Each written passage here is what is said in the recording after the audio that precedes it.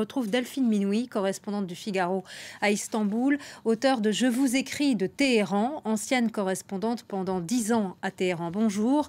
Trois mois après le début de la, la révolte, le mouvement d'après vous peut-il encore s'intensifier?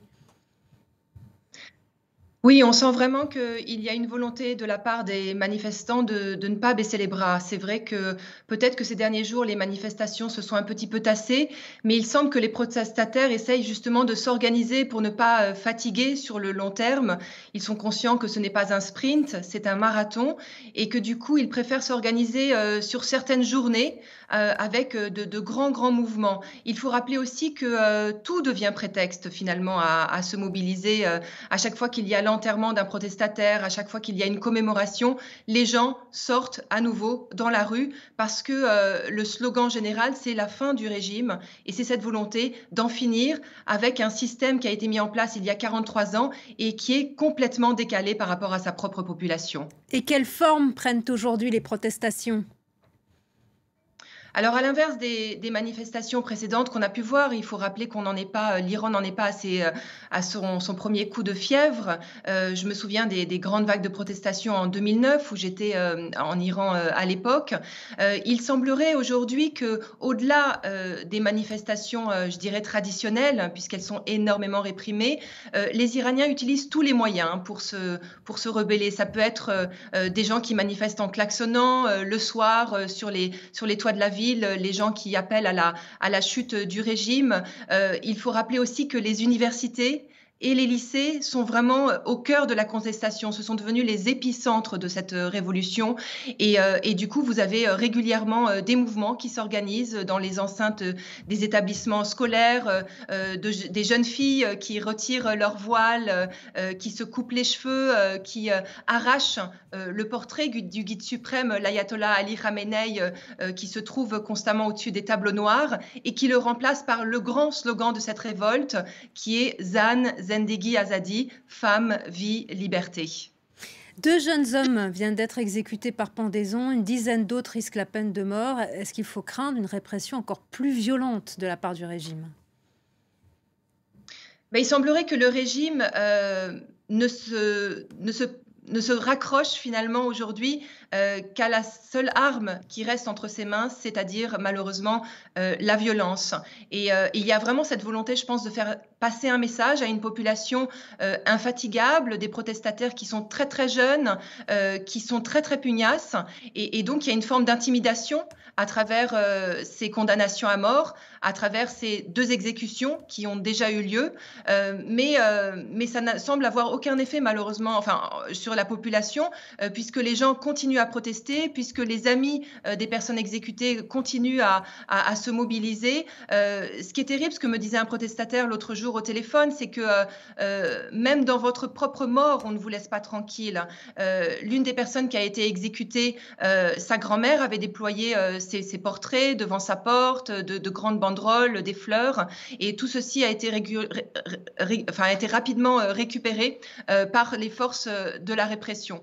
Mais, mais ce qui semble semble vraiment euh, sortir de tous les témoignages qu'on recueille depuis l'Iran, c'est que euh, oui, il y a cette peur, oui, il y a cette répression, euh, mais ce ne sont pas ces, ces, forces euh, de répression, ce ne sont pas euh, tous ces signes de violence qui vont étouffer la population, parce qu'il y a une volonté jusqu'au boutiste aujourd'hui qui est très différente des mouvements précédents. Et donc ça va peut-être au contraire renforcer la, la, colère et la mobilisation, d'après ce que vous nous dites. Est-ce que l'ensemble des forces de répression restent totalement dévouées au régime actuellement?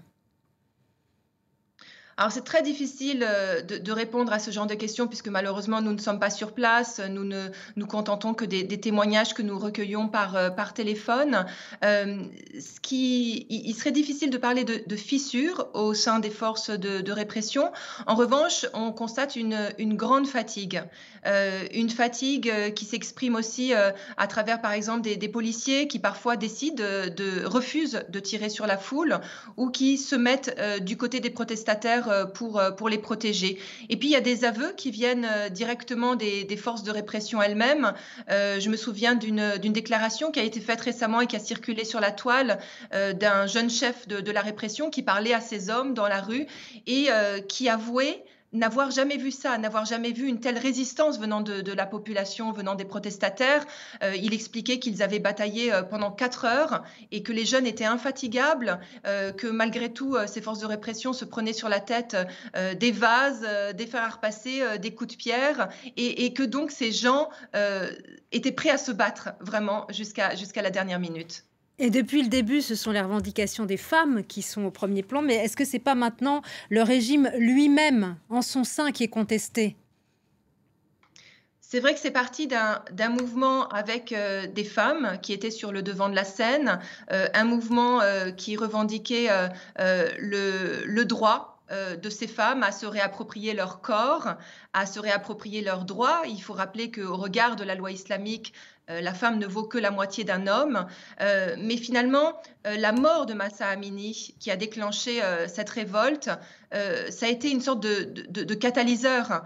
et aujourd'hui, on s'en rend compte, ce sont toutes les revendications de la société qui n'ont jamais été entendues au cours des manifestations précédentes, qui explosent à nouveau en plein jour.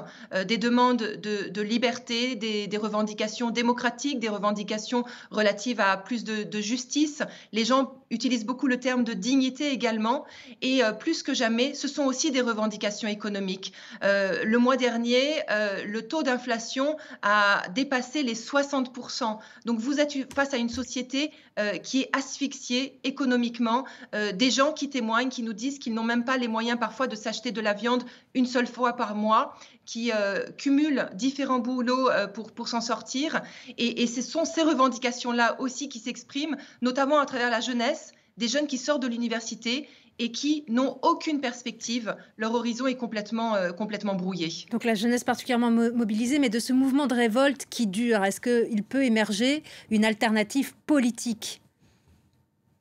Alors pour l'instant, ce que, savent les protestataires, c'est qu'ils veulent en finir avec ce régime et c'est ça qui, distingue le mouvement des mouvements précédents, c'est que euh, jusqu'à aujourd'hui, il y avait toujours cette volonté de renouveler la classe politique de l'intérieur, de laisser la chance aux réformes. Aujourd'hui, euh, les réformistes sont complètement marginalisés. Les Iraniens n'en veulent plus. Donc en fait, ils savent ce qu'ils ne veulent pas. Ils ne veulent plus ce régime castrateur, ce régime qui mélange la politique et la religion.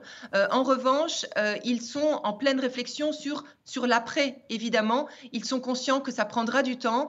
C'est un régime qui n'a pas de leader. Donc c'est la, faiblesse aussi de, ce mouvement, de ne pas avoir de leader, mais c'est aussi peut-être sa force, c'est ce que nous disent les Iraniens, euh, parce que ça leur permet de, s'organiser euh, à travers tout le pays. C'est un mouvement global, c'est l'Iran euh, dans son ensemble qui bouge aujourd'hui, du nord au sud, des grandes villes aux provinces. Et, et même si ce mouvement n'a pas de leader, il a plein de petits maillons à travers le pays.